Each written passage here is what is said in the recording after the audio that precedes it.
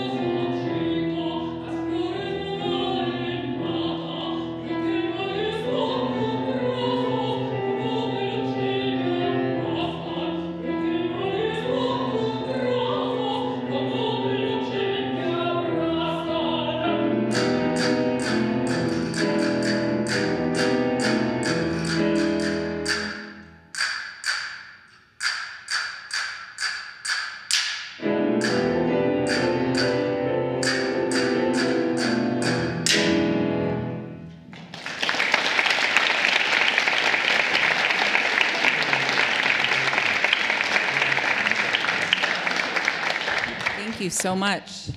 Sure, this is on. Thank you so much. I'm delighted to be here, and I want to give a special thanks to Kate for playing such beautiful piano. Thank you.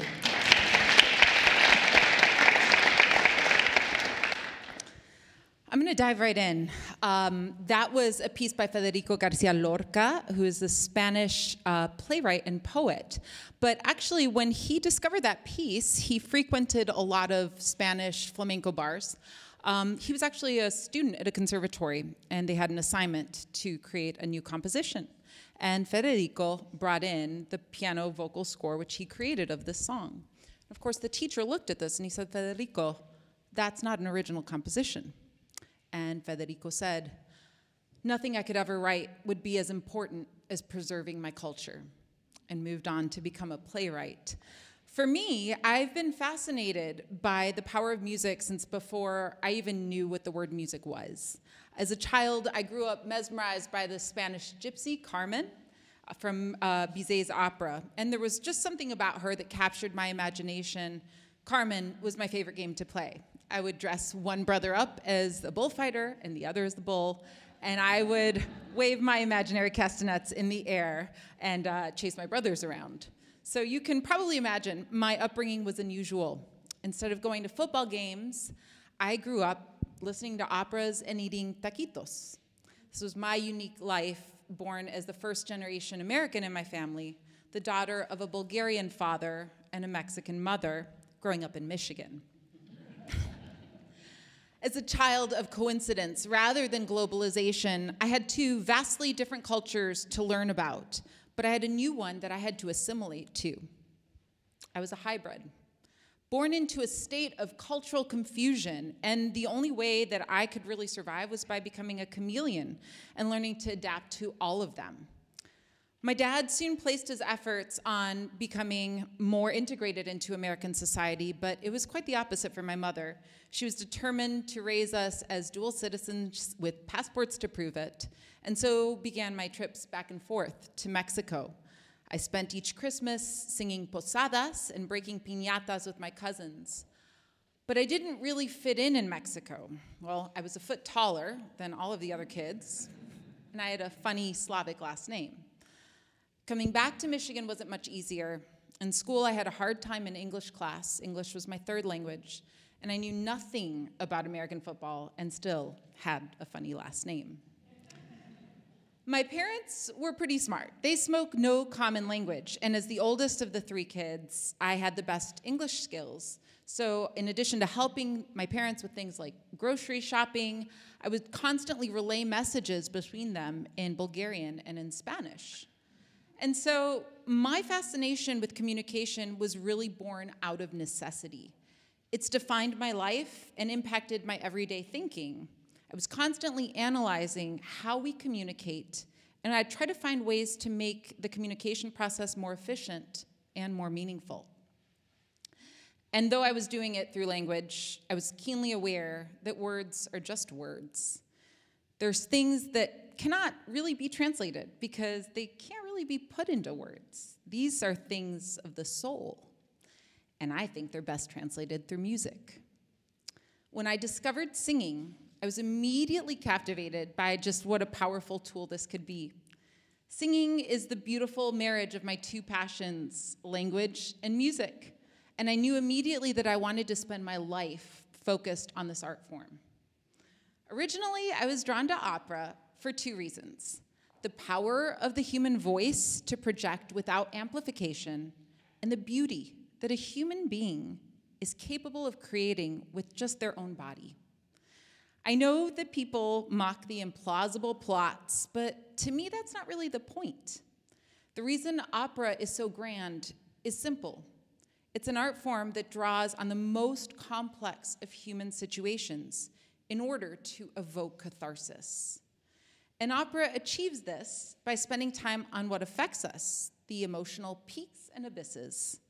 It offers us a reflection of who we are, how we relate to others, and what it means, both collectively and individually, to be human.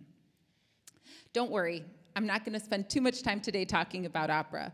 But there is one thing on my journey as a singer that I have found to be true with all people, regardless of nationality or race, age, gender, ethnicity. And that is that we all have the capacity to feel emotion. It's our deepest universal. We all can cry, laugh, love, feel pain and embarrassment. We speak that common language, the language of the soul. So, this is what brings me here today. I've come to understand now the many similarities between the work that artists do and the work that diplomats do. And I'm really interested in this work. Specifically, I'm interested in cultural diplomacy, which has been defined as the exchange of ideas, information, art, language, and other aspects of culture among nations and their people in order, and here's where it gets really cool, in order to foster mutual understanding. You see, there's an end goal to this kind of work, and that's very different from standing on the stage, performing, or entertaining. I'll get to that more later. I first learned about cultural diplomacy probably in what would be the best way possible, and that was by doing it. I became a United States State Department Arts Envoy in uh, 2005, early in my career as an opera singer. I was invited to complete my first mission in Mexico. The program took place in a small city, Campeche, which is an area with relatively low tourism, especially at that time. Given the immigration challenges, the US Embassy wanted to connect with underserved areas. And this was one of the first programs in this particular region. And as a community with a very large indigenous population, US government officials were working closely with Mexican government officials to better understand the demographics in that area. And while they were getting to know each other through meetings and discussions, I, just out of grad school, had this task of creating a program that would serve for that end goal of fostering understanding between the two cultures. The reality is that while diplomats have the best of intentions, I think artists are often the ones who create the actual programming through which the cultural diplomacy takes place. It's not an easy task. In some cases, we get briefed on foreign policy objectives, but in other instances, it's really up to the artist to, on their own, become aware of the history between the two or more involved countries. And in addition, there may be language barriers and cultural hurdles to understand and overcome. In this case, while I speak fluent Spanish and I even hold Mexican citizenship in addition to my American citizenship, many of the constituents of Campeche actually speak Mayan and or Mayan dialects. And many of the indigenous people were already pretty skeptical of Mexican government officials, let alone American diplomats. So, on the other hand, just as artists may not have an innate knowledge of foreign policy or foreign policy objectives, foreign service officers may not have experience with the arts. Many of the diplomats that I've worked with have relied on older models of cultural diplomacy, like the traditional touring model we in opera call it the park and bark model, where you sort of park and bark, everyone claps, and then you go home. And there's nothing inherently wrong with that, but I really believe that there's more possible through creative programming. You see, performing can often be like a lecture, which is what I'm doing right now, uh, with the performer sort of showing the audience something that they deem culturally relevant, often with a Western bias. And this can be thought provoking, but a different approach with more preparation and perhaps what I think is especially important more of a premium on exchange of cultural equity and values. That can be more effective because therein lies an opportunity for us to learn as well. So, back to Campeche. While the team of embassy officials were planning the schedule, I wandered into the streets and I joined a soccer game with a group of youngsters. They seemed amused that I would want to join their game, but soon enough we were all laughing and playing together. And once we finished the game, I wanted to sing for them as a token of my appreciation. And to my surprise, they wanted to sing for me. So when the embassy team emerged, I told them I wanted to invite these kids on stage to perform in my concert. And over the next few days, the group rehearsed and we performed together. And the embassy worked with local organizations trying to use the arts to help their education processes. And those workshops and performances then led for that children's group to become a children's chorus. Would you believe that within a year, these young kids were performing with Andrea Bocelli, one of the world's most famous opera singers, for the state's largest annual concert. The next year, they were selected to win the Coming Up Taller Award, which they received at the White House in Washington, D.C. Offering a presidential award to an underserved community like this in Mexico sent a very strong political message, one which, sure, in part helped to ease the tensions related to the immigration issues. It also offered funding to that local organization called La Chacara, which is now a cultural hub that offers ongoing workshops and classes to the community. Not all cultural diplomacy missions are as straightforward and successful as that first one was for me, uh, but then again, not all cultural diplomacy missions are planned. One of the most important cultural diplomacy missions, which led to our present relationship with China, was actually initiated uh, pretty spontaneously through an informal cultural exchange. From his first days as president in 1968, Richard Nixon had envisioned a connection between the United States and China as key to counterbalancing the influence of the Soviet Union. Achieving this would be a huge challenge due to the deep distrust between the two nations. Nixon's ideas about China were embraced by his national security advisor and later Secretary of State, Henry Kissinger. But the moment to make the breakthrough just had not really presented itself and that changed in part because of an unlikely meeting at the 1971 World Table Tennis Championships in Nagoya, Japan. Both countries had sent teams to the event, and the event was presented with the slogan Friendship First, Competition Second. So, what began as an event on April 6th of 1971 uh, had practice sessions, and in, on an afternoon, the American player Glenn Cowan actually just missed his team's bus. He'd been practicing with a Chinese player, and when they, shot to, they sought to shut down the facility, uh, Cohen was invited to board the shuttle bus with the Chinese team. And during that very brief bus journey, the Chinese players seized the opportunity to try to speak with Cowan through an interpreter and they exchanged just a few gifts. The following day, Cowan decided to give one of the Chinese players a t shirt with a peace sign on it and the words from the title of the Beatles song, Let It Be. Well, when the photographers saw the two getting off the bus, it caused a stir. One journalist asked Cowan if he would like to visit China, and he said he would welcome the chance to visit. Of course, at the time, the country was closed to Americans. Initially, the Chinese officials balked at the idea of taking a US ping pong player up on his completely unofficial expression of willingness to visit China. But later, their position was overruled by Mao Zedong, the chairman of the Chinese Communist Party, and of course, the country's most senior leader. On April 10th, 1971, stunning the world, nine American table tennis players entered the People's Republic of China and they spent just under a week in China playing ping pong and touring cultural sites. And of course, that, that visit bred enormous goodwill between the two countries. Nixon and Kissinger seized the moment, and after a series of negotiations, we know that uh, the historic visit took place of Nixon to China, and one of those outcomes was that the Chinese ping pong team was invited to the US. So during his visit, Nixon noted that Chinese leaders took particular delight in reminding him that an exchange of ping pong teams had initiated a breakthrough. In US China relations, Mao himself would coin a more fitting metaphor, maybe some of you have heard it, where he observed that this was an instance where the little ball moved the big ball. And I bring this up because actually, since my first mission in Mexico in 2005, I've had the privilege of working on State Department missions really throughout the world on countries like Chile, Honduras, Japan, Kazakhstan, Venezuela, Montenegro, Peru, and others, Indonesia, Saudi Arabia. Um, but in particular, I've worked frequently in China.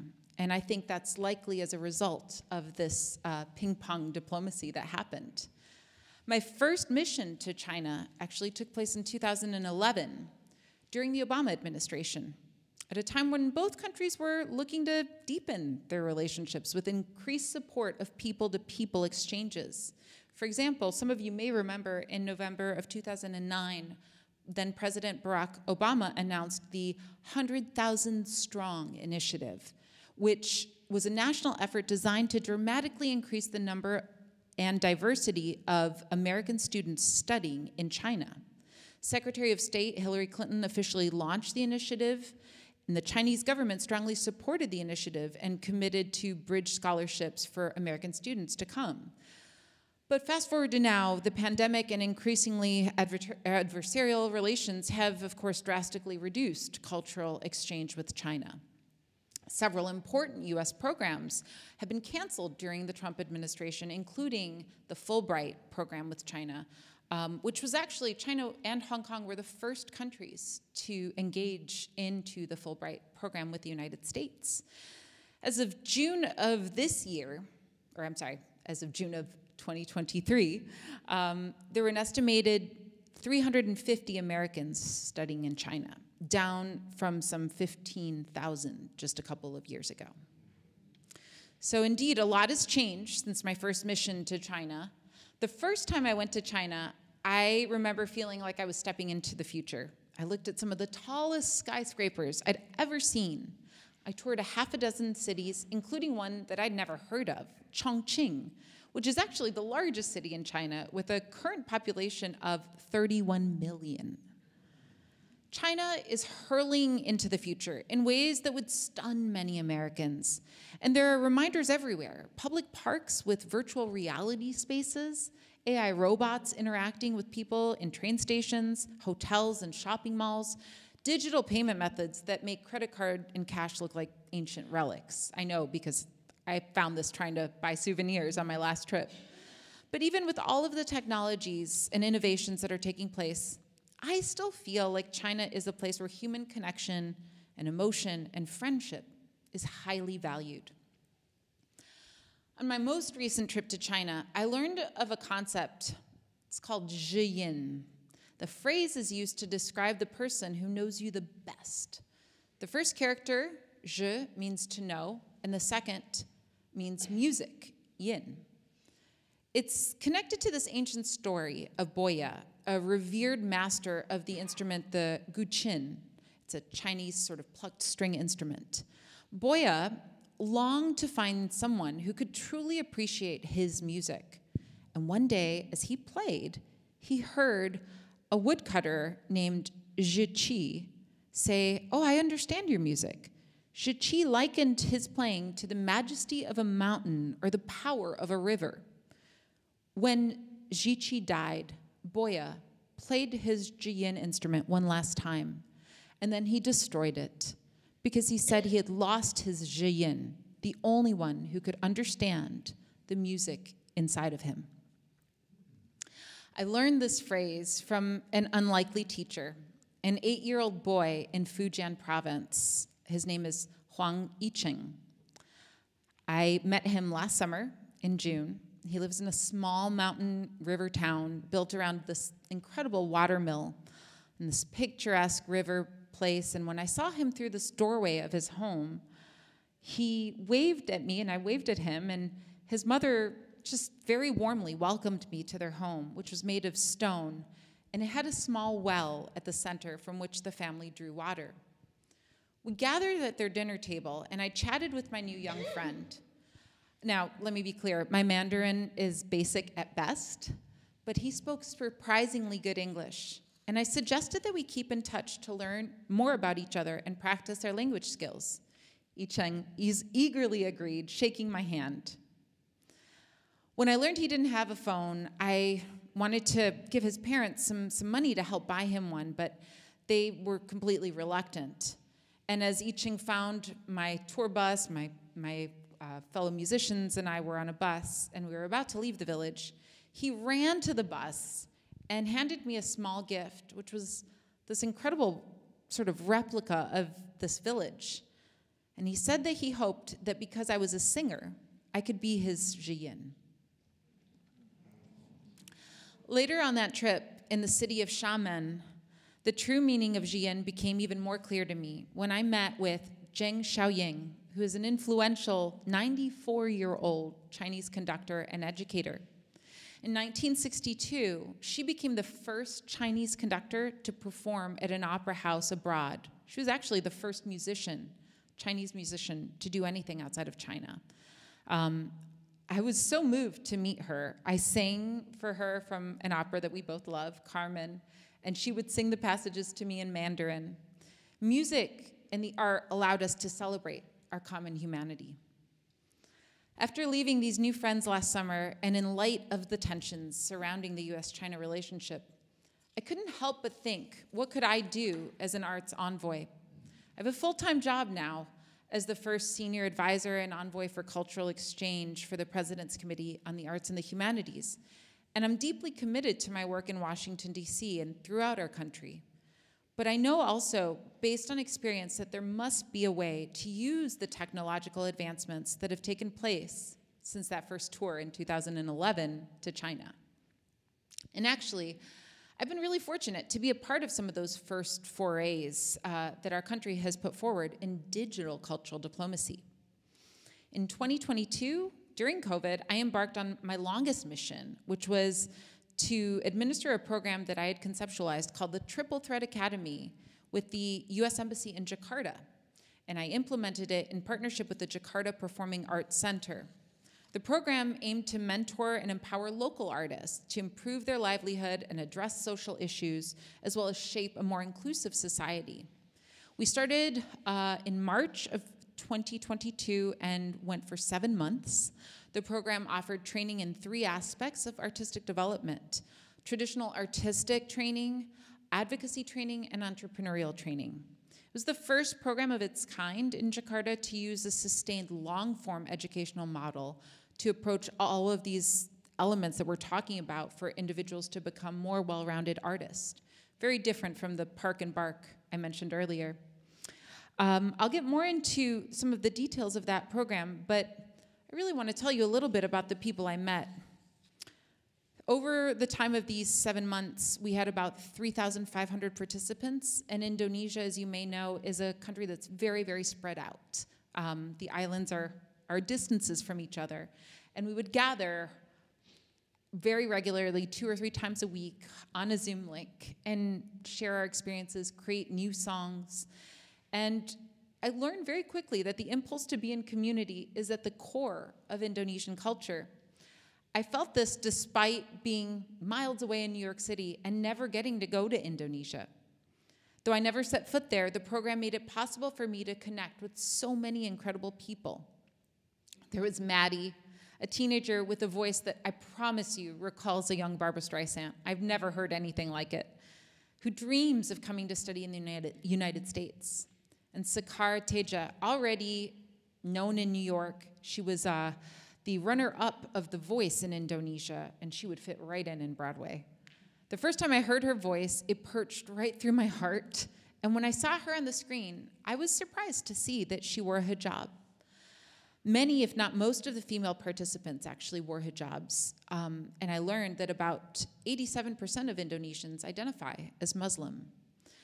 I also learned that many of the young artists in the program identified as LGBTQ, and the arts were a lifeline for so many of these young people as they left their own beliefs for a brief moment to play a character through these songs and plays. My students there taught me another term that stayed with me. It's Gotong Royong. Raka, Bertie, and Karina, some of my students, explained to me that it's like a spirit of working together for one mission as a group. It's kind of the spirit of what Indonesia is as a country.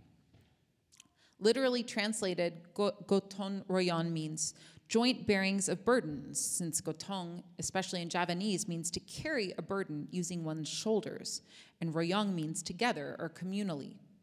I learned that actually public structures in the village, such as streets and even irrigation systems, are typically built via gotong royong in this cooperative system where resources and even money are pooled.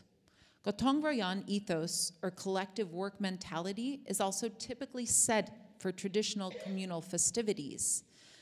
It reminded me of potlucks here in the US. So, through this exchange of knowledge, what if we here could carry this idea forth in other ways that would help our communities? Back to China.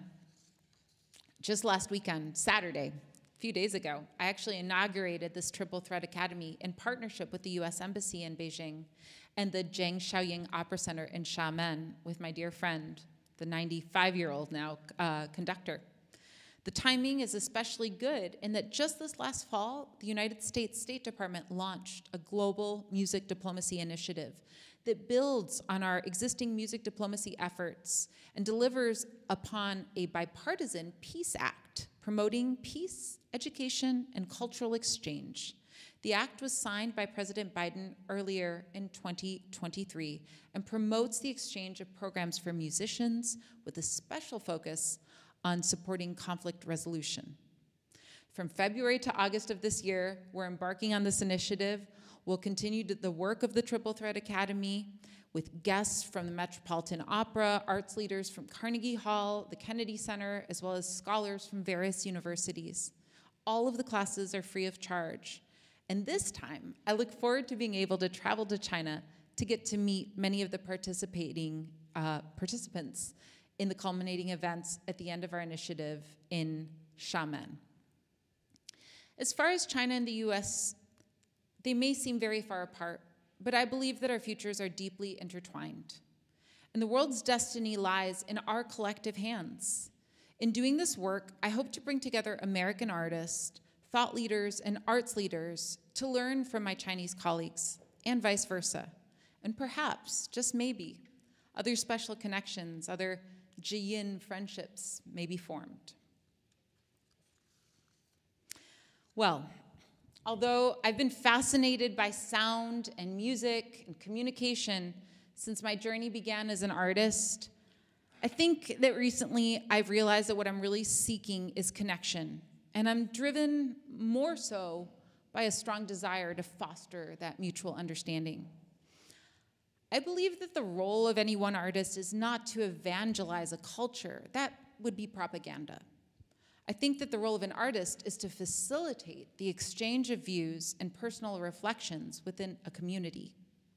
To me, I define culture as a set of beliefs, and thinking about cultural diplomacy allows us a means to potentially change belief systems by learning from one another and then re examining our own culture and what we believe. The key, though, is that exchange.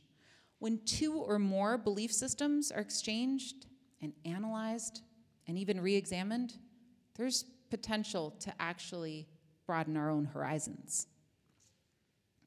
Often, we think of artists as entertainers in that park and bark model, but I think we can be more. I think that we can be educators and advocates and maybe even healers. Through the arts, we explore those things that cannot be said, and sometimes we face those delicate issues. In this way, I think arts can, just as Madeleine Albright put it, be a critical component to the foreign policy toolbox. And so I'd like to leave you with one thought. As an artist, I've often heard people speak of music as the universal language, and I see this differently. I actually think that our universal transcends language and reveals a fundamental trait of humanity and that is that we each have that capacity to feel emotion. And that's what makes us human. The arts, what they do is they offer us a safe space to explore the depth and complexity of the human existence, of the emotions that come with our shared human condition. And yet, I think the real superpower for the arts is something even bigger. It's to serve as a gateway to something much more powerful, and that is to unleash the human capacity to imagine. It's when we unleash our imagination that the magic happens, that we can dream. And that's why I believe that even just one song has the power to change the world. Many people think of culture and the arts as being a luxury, but to me, there's nothing more essential than this when we hear a song and we can imagine a better future, that is the most precious thing that we have as human beings. And that is why I believe that the arts have the capacity to advance positive social change. It's the underlying sense of humanity that reminds us that we're all in it together and we have a better future to look forward to. I'd like to invite my new friend back to stage. Um, Kate, thank you so much.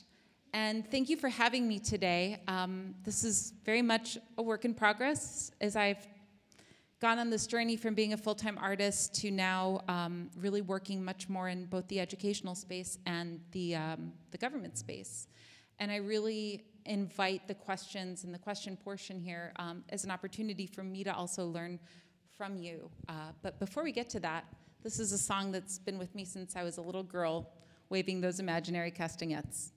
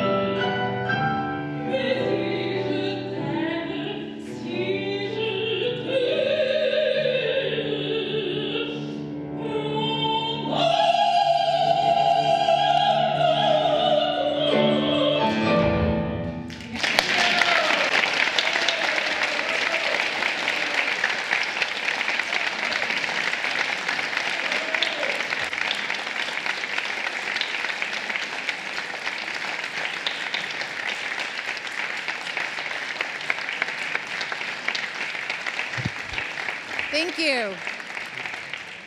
Thank you so much. Well, now I'm I'm really looking forward to this part. Um, you know, as I said in the in the talk, I um, I'm always a little bit hesitant to lecture because I'm more, much more interested in the exchange of ideas, in the questions, in the conversation. So I know we have a little bit of time, and I'm really hoping that we can open it up to some questions. I'd love to hear what your thoughts might be around the arts and cultural exchange, cultural diplomacy. Yes, please. So one of my best friends is going to. Oh. This is nice. one of my best friends uh, across the country, he's aspiring to be a really prolific music educator, and I'm going to be involved in diplomacy. And I kind of wanted to know what do you think can be done inside the United States itself to better manage that with, say, the children that are going to grow up in the next generation? Great question. I'm sorry. So uh, I missed the very first part. You said you have Yeah. a friend who. like music education. He wants Music to teach yes. children, and Yeah. I kind of want to work with him and you know, in the years to come, work on providing more cultural experience beyond the current education. Mm, mm. Especially because I'm going to be doing an international career, so I can mm-hmm. facilitate that. Mm. So, how do you think we can better manage that societally? This is a great question. What is your name? Uh, Samkar. One more time, sorry. Samkar. Soundcar? Yes. Okay, Sankar, thank you. This is a great question. So um, there's so much I want to say. I want to start by saying, please get my email before you leave this room so we can continue the conversation. Um, I've never felt like there is a more relevant time to do the work of exchange on culture in our country than now. So we need you and your friend. We need that work to be done now more than ever. And it's part of the reason I, I feel honored to have joined the Biden administration because it's exactly what I get to work on and am researching. So I want to say a couple of things here. Um, first of all, I, I have a framework for myself, and I'll offer this because it might be helpful. Um, I think of the work that I'm interested in doing in four kind of buckets or pillars. One is traditional cultural diplomacy, which I see as having the goal of fostering the mutual understanding, but also with a goal of furthering foreign policy objectives. And cultural diplomacy traditionally is defined as work that is government led. Cultural exchange does not necessarily have the goal of the foreign policy objectives. It does have the goal of fostering mutual understanding, and it can certainly happen even within the same street, the same block, the same community. Um, and then the two other ways that I think of this work are cultural awareness, and I think we're seeing a lot right now in the last few years on um, things like uh, this is Black History Month, or next month is Women's History Month or Hispanic Heritage Month. So, sort of this this awareness of um, perhaps underrepresented identities and learning more about their histories and so forth. The last bucket I see as being much more inward about cultural identity as it relates to oneself. And in my case, having a mixed background, that's been complicated. Um, the arts provide us a very safe realm to do work in each of those buckets. And while the last two, the last one is maybe in, inward, the awareness is maybe educational, knowledge based, and the first two are more exchange, the arts can be the vehicle for all of those. There's a growing movement right now, which I'm watching with delight of music schools, universities, um, including the work I've gotten to, to do some, some of at Harvard, which is teaching um, social impact through the arts. So, how do you actually use the arts? and create a program using metrics and measurements, uh, KPIs, UVP, all of the, the sort of business terminology. How do you apply that with an arts curriculum in a way that will generate results? And that's why I'm saying, please email me, because I have a lot of resources on this. And I think you'll find that most of the people that have been interested in this work, like myself, we're a community that will gladly respond to an email, gladly sit down and do a Zoom session and talk with you and your friend and say, okay, where, what, how, how can we help?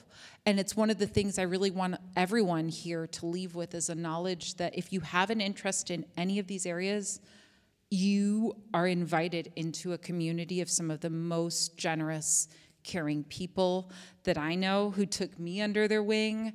And so it's very much, um, you know, it's, it's our honor now to get to pay that forward.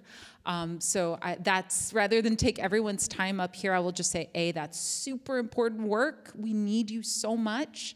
B, there's a lot of resources for you and see you have a friend and an ally right now. So um, let's follow up. Great question. Yes, I, I, see a couple more. One down here. Yep. What do you consider the highlight of your multiple careers and why? Oh, gosh.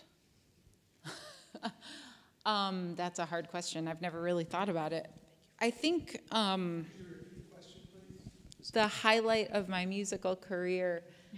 I've gotten to work with some really incredible musicians, um, people that, you know, by all accounts were superstars. Uh, my teachers, I studied with Shirley Verrett, Grace Bumbry, Montserrat Caballé, performed with Leo Nucci. If any of you know opera, these are some of the biggest names in opera.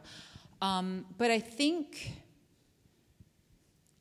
I hesitate to say this story. Um, I had an experience in China doing Carmen, which was a very challenging experience initially, um, and I didn't understand why. I was, it was 2013, and I was the only non Chinese in the cast. And I didn't feel a lot of warmth in my rehearsals. Um, I had been doing other operas, there were international casts, it was a very different situation, but in this I felt not so good. And we got to the dress rehearsal, uh, the, the music dress rehearsal, and suddenly uh, there was a particular member in the orchestra who just didn't come in, and the conductor cued him, and he said, I don't play for Americans. And I, in that moment, understood, like, oh, this is what's going on.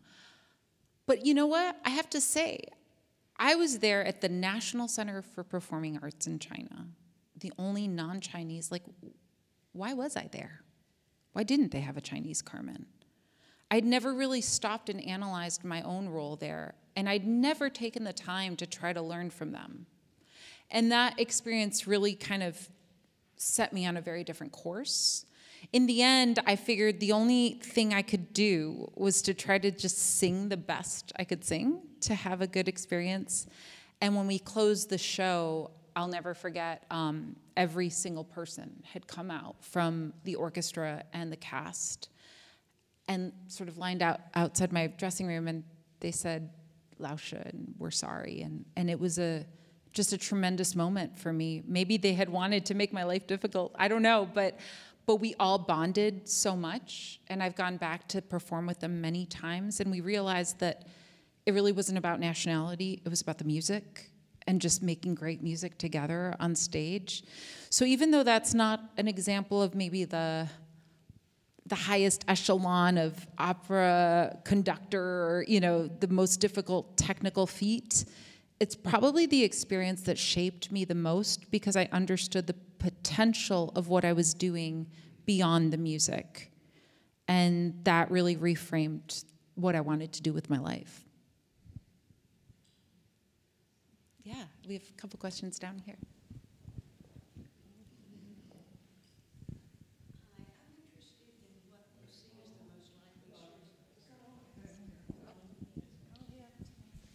Hello? Uh, okay.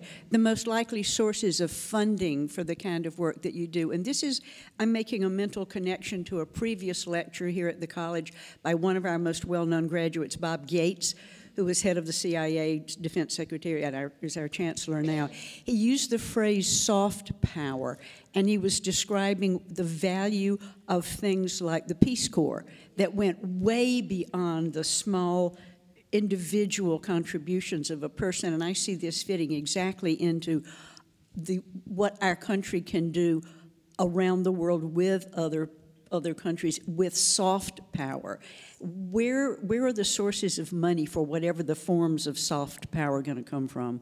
That's a great question. So I, I am very interested in soft power and have a lot to say about it. Um, there is a link or a parallel, let's say, between cultural diplomacy and soft power. Cultural diplomacy, as I define it, traditionally is government led, government sponsored. So its State Department is running the programs, or other parts of the government generally run and fund these programs. Soft power is about attraction to a country without any kind of government interference. So you could, one could say, for instance, that America's soft power is high because of Taylor Swift, because Taylor Swift is so popular globally that that, and she's American, so that raises America's soft power.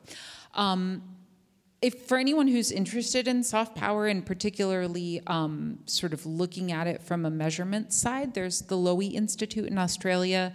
I think does the best analysis on soft power and how to really take a look at um, what is making the difference in soft power. In terms of funding, you know, it's a very tricky question because this country has a real um, non government mechanism for these kinds of things Hollywood, the Recording Academy, all of that, that's where I think the soft power for the country sits because it's outside of government. Um, uh, I think the most interesting study of rising soft power is what's happening in Korea in South Korea. Because within the last 10 years, we've seen now uh, the K pop craze of that music, uh, the Parasite movie, and, and Squid Games, and all of these films and television series gaining popularity, beauty products, food, etc. And actually, that's a way that the world has gotten to know about Korean culture. And in that case, it was both strategic on behalf of the government and the not for, the the the um, non-government sector. So there was a partnership strategy there.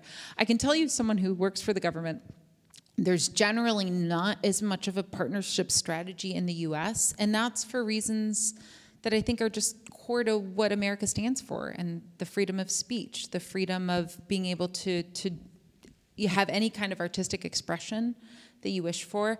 Back at the time of the Cold War, for instance, um, Martha Graham and others were asked to do cultural diplomacy, and they sometimes didn't want to because they didn't want to feel like they were being utilized as propaganda. So I just bring that up because I think there is a fine line on how certain artists will see it and how certain artists will not want to be viewed as um, being used for soft power. Of course, we have a history in this country of jazz ambassadors, right? Uh, the wonderful work that so many of our jazz ambassadors did, Dizzy Gillespie, Louis Armstrong. And they did that work at a time where there was some real uh, racial tension in this country. Um, and so that had its own challenges. But to your point about soft power, I think I think America has a very, very strong history and legacy and um, sort of superseding interest, culturally speaking, when it comes to film, television, music, fashion, everything that we sort of consider American culture. But how we start to really think about that as an export, how we start to think about the power of American culture abroad, is something that I don't see as many people really analyzing and thinking about. We sort of think of it more in this country as the freedom of expression. In other words, to go back to the Taylor Swift example, I don't think she's, and I could be wrong, but I don't think she's thinking, oh, you know, my fan base in Japan is going to help my country's the the perception of my country abroad. She's just thinking, I want to make great music and connect with my fans abroad, probably. And so there's that authenticity element that actually ends up helping our soft power. So I guess what I'm trying to say is in the end, I think part of the reason America has such strong soft power is because of our commitment to freedom of expression and the authenticity that comes with that. And I really hope that we preserve that for as long as we're a democracy. It's fundamental. Yeah, great question. We got time for one more. One more. Oh no. Well, I'll be outside afterward if anyone wants to. Uh, yeah. Uh, hi, uh, my name is Lana. I'm from this small Eastern European country called Georgia. Yes. It's right under Russia. Uh, yeah, so um, I have a question that pertains to kind of uh, open mindedness in terms of the arts, because um, a lot of what I've seen after the war in Ukraine in my own country is that. Um, I guess uh, there's this um, hostility towards language and the arts and anything that comes from Russia, and it's understandable, but I also think that it's necessary to kind of um, understand the culture itself. I think it would be a great loss to lose the arts as a way to understand our own humanity. So, how would you foster open mindedness in a country that's seen a lot of repression from a different side, but also should still connect on a human level. That's a great question. What is your name?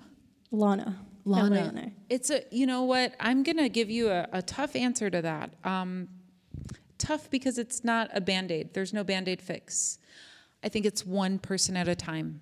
I think it's one grain of sand at a time. Um, changing hearts and minds is not it's not easy work. It's not work that necessarily comes quickly, but I really believe that if you use every opportunity you have in life, with an openness to that, whether it's holding the door open for somebody or having a conversation with the person sitting next to you on the train or wearing a scarf or, or a, a blouse that tells a story of something cultural and being ready to engage in those conversations. That's at the end of the day, in my 40 some years on this planet, what I believe in. Um, I've certainly tried many different models and types, and, and I just think at the end of the day, it's like the young boy who I met in Fujian, who we sat there together, and that experience was undeniable for me, and I can't ever erase that from i mean i carry him with me and i wanted to tell you about him and maybe now you'll think of him and i think it's the same you know if you can tell that story to someone else and that person becomes an ambassador for that story that culture and then they do it for someone else and someone else it's really that sort of one grain of sand one person at a time approach but despite that being challenging i can tell you that there are so many people that i think are really hungry for that knowledge who really want that connection. And I just encourage you to go for it and, and do whatever you can. And I count myself in those people that will be on your team with it. So um, thank you. I, I really wish that we could talk longer. I, I have a feeling it's, it's my time's up, isn't it? Okay. All right. Thank you.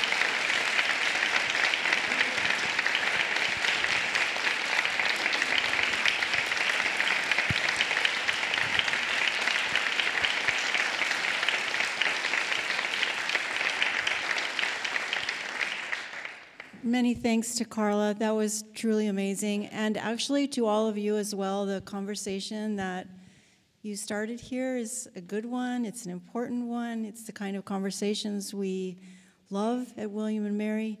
Thank you all again. Carla will be out in the lobby for a little while if you have an additional question.